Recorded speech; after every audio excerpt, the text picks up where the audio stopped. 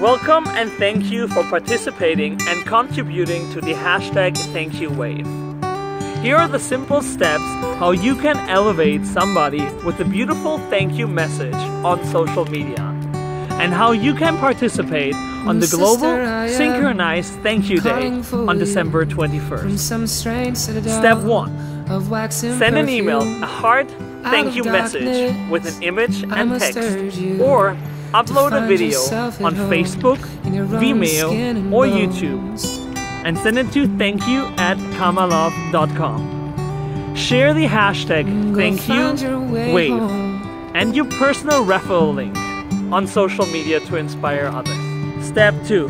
Receive a beautiful thank you gift package with unique gifts with a meaning from Karma Love and all its partners and share it with others so we can create a wave of gratitude all together.